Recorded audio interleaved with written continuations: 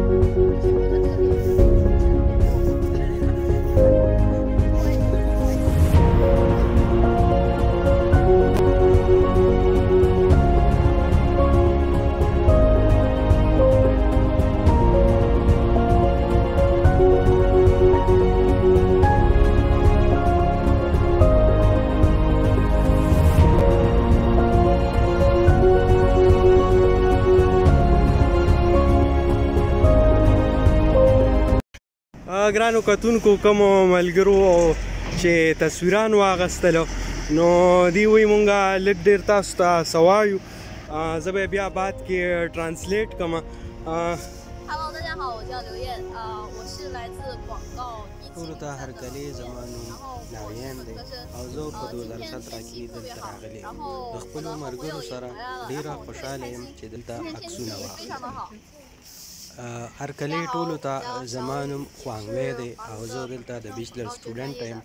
او نن ډیر خوشګوار موسم دی او موږ ډیر خوشاله یو زما نوم لیویان ده او زه دلته کې د بیچلر سټوډنټ یم دا زیړې پاڼې ډیر زیات خوند کوي او موږ ډیر زیات خوشاله یو زما نوم چنګ سینوان دی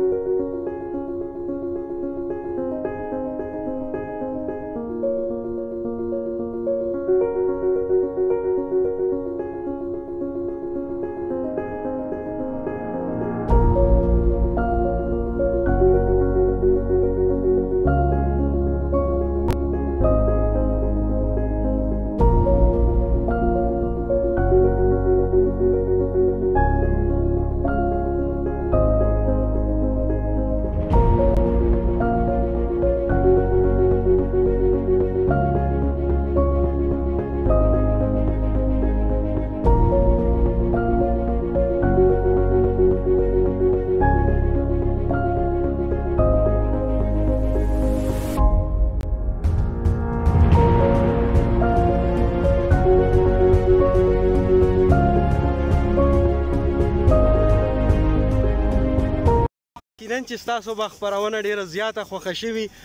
تر دې دمه پورې ورکه خپل کوربه فواد زمان همدرد له اجازت د یو بل ویډیو سره به بیا ان شاء الله ملاویږو د الله په امان بای بای